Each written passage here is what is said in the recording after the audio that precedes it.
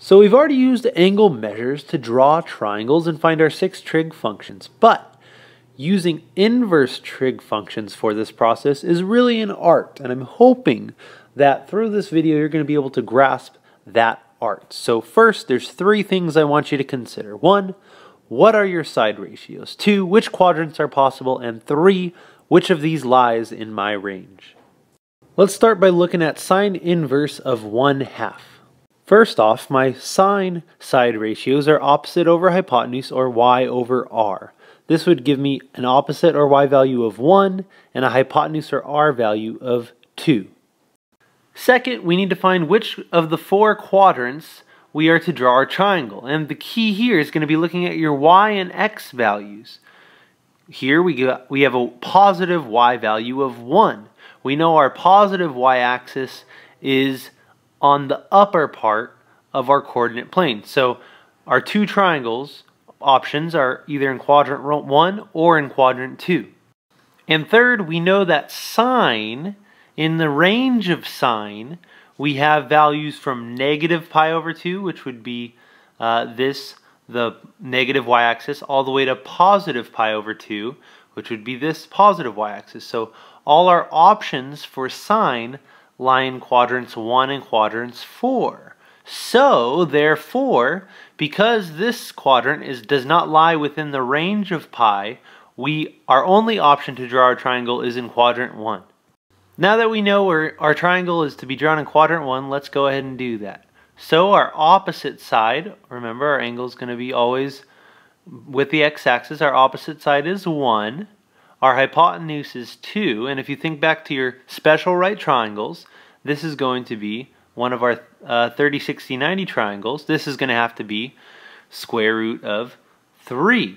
Based on this, we know that this angle of theta here is going to have to be a 30 degree angle, a 30 degree angle or a pi over 6.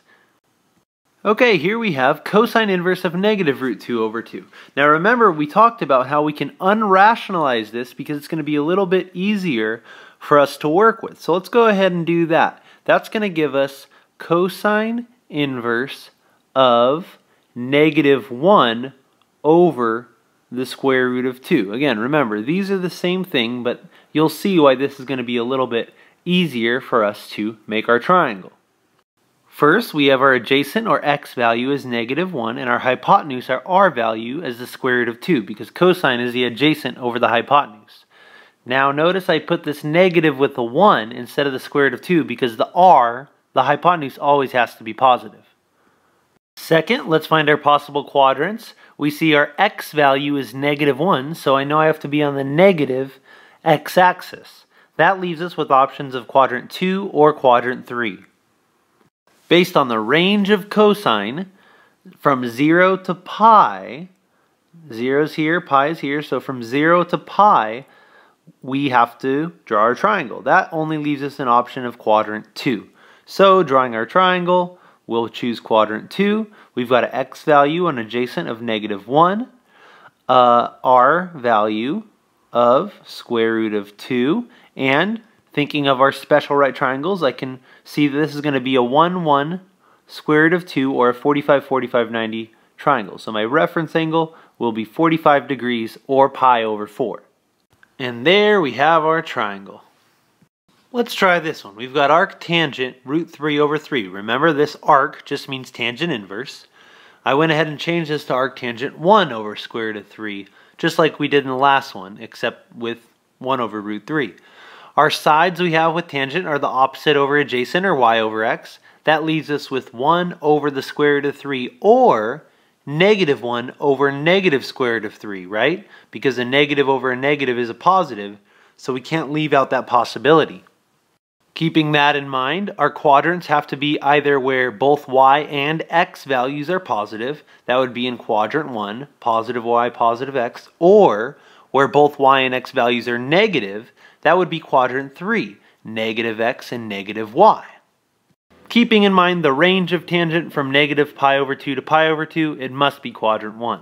So drawing our triangle in quadrant 1, we have an opposite side of 1, an adjacent side of square root of 3, this reminds, of, reminds us that this is a 30, 60, 90 triangle. This should be 2 up here. And because our opposite is 1, that's our smaller of the 30, 60, 90, this should be a 30 degree angle or a pi over 6. And there we've got our triangle. Let's consider some special cases. Here we have sine inverse of 1. I change this to 1 over 1 because it's going to help me organize my side ratios. That gives me an opposite or y value of 1 and a hypotenuse or an r value of 1.